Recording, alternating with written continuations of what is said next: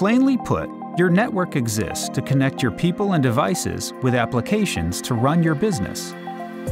Simple, right? Not anymore. Networks are getting more complicated and more vital every day. In this digital age, your network has to become ultra flexible and keep up with changing business needs, a growing number of mobile users and devices, and applications that are distributed among private data centers and public clouds.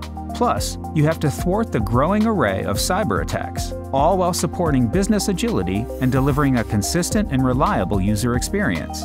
Sounds like a big task, but not too big for an intent-based network that uses automation and AI to continuously align the network to business needs.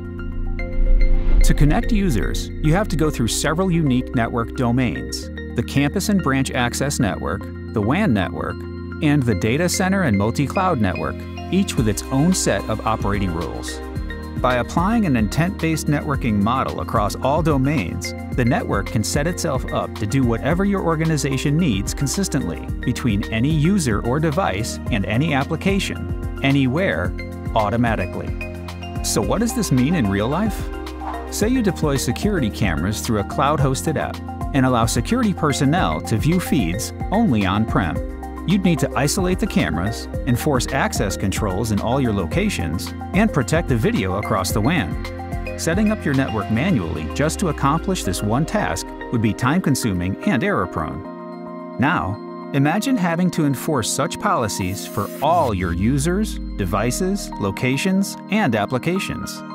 But what if you defined policies? In this case, Access and QoS once, and all domains shared and enforced the rules themselves? Now, the video will be protected from snooping and would flow smoothly only to the security staff. That's the power of intent-based networking multi-domain architecture. Is your enterprise network ready for the future? Talk to your Cisco representative or visit cisco.com/go/multidomain.